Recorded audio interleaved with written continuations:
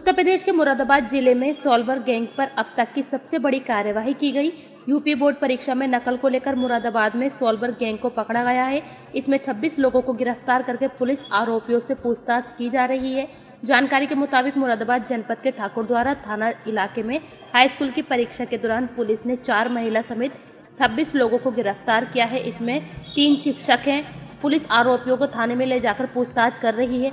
पूछताछ में इस गैंग से बड़े खुलासे की उम्मीद जताई जा रही है। बलिया पेपर लीक के बाद उत्तर प्रदेश बोर्ड परीक्षा में नकल के खिलाफ बड़ी कार्यवाही मानी जा रही है। देखिए बी एस इंटर कॉलेज यहाँ कुआँ कुआँ खेड़ा खालसा में है, ठाकुरद्वारा थाने के अंतर्गत आता है।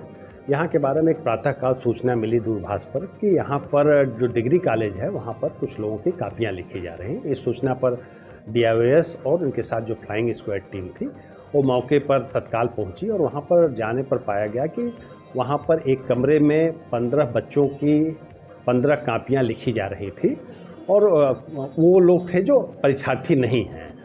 और वहाँ पर इन सभी लोगों को गिरफ़्तार किया गया। पुलिस को सूचना दी गई, पुलिस मौके पहुँच इन सभी लोगों को गिरफ़्तार किया है। और जो भी इसमें अभियुक्त हैं, उन सबके खिलाफ कठोरतम कार्रवाई की जा रही, प्राथमिकी दर्ज कराई जा रही।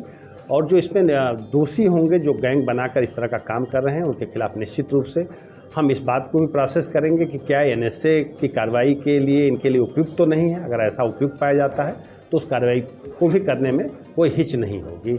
और निश्चित रूप से मैं एक मैसेज भी देना चाहूँगा कि शासन की स्पष्ट मंशा है कि पूरी ढंग से पारदर्शी ढंग से निष्पक्षता से परीक्षा हो और इसके आड़े जो भी आएगा जो भी इसमें बाधा उत्पन्न करने का प्रयास करेगा उसके खिलाफ कठोरतम कार्रवाई की जाएगी। ये साहब जो स्कूल के मालिक हैं या चेयरमैन जो भी हैं उनके अगेंस्ट क्या कार्रवाई देखिए चाहे कोई मालिक हो चाहे चेयरमैन हो जिन लोगों की भी संलिप्तता इसमें है प्रथम दृष्टिया जो वहाँ के प्रधानाचार्य हैं उनकी जो टीम है और जो लोग कमरे से अरेस्ट किए गए हैं प्रथम दृष्टिया टोटल अभी तक 26 लोगों के नाम सामने हमारे आए हैं और अभी हमारी विवेचना चल रही है। विवेचना में कुछ नाम अगर और आते हैं तो उनके नाम को हम लोग ऐड करेंगे। सर कॉपी के साथ साथ पत्र भी पकड़ा जी जो प्रश्न पत्र पंद्रह प्रश्न पत्र थे वो फ़ोटो कापी थी और कापियाँ थी जिसपे कि नंबर इरेज नंबर नहीं लिखे हुए थे इरेज कर दिए गए थे। क्या सर यूँ माना जा सकता है कि लीक हो गया पेपर? नहीं पेपर लीक होने का मतलब ही नहीं आप समझ सकते हैं कि साढ़े नौ बजे मतलब जो इसमें मोडस अप्रेंडी है